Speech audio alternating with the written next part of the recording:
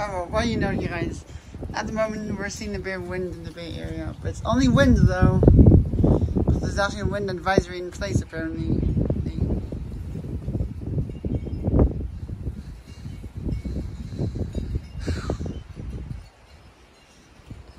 Yeah, and about all that wind though. We shall see what happens next. And of course, take it from there.